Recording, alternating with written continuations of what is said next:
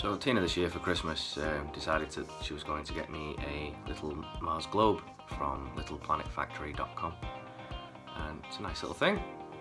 Um, it has all the 3D surface details that you would expect of Mars and a nice big fat pimple known as uh, Olympus Mons, biggest mountain in the solar system.